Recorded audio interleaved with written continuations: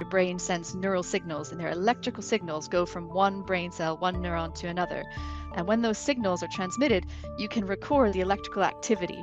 You can record it very precisely with with electrodes that you implant in the brain, like these brain-computer interfaces, or you can get sort of an aggregate of the brain signals by taking a surface recording. Your brain has 100 billion of these neurons all talking to each other and firing, and you have developed this phenomenally complex nervous system and evolved it to work.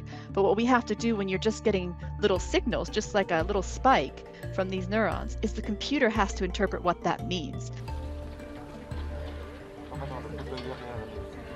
啊？我也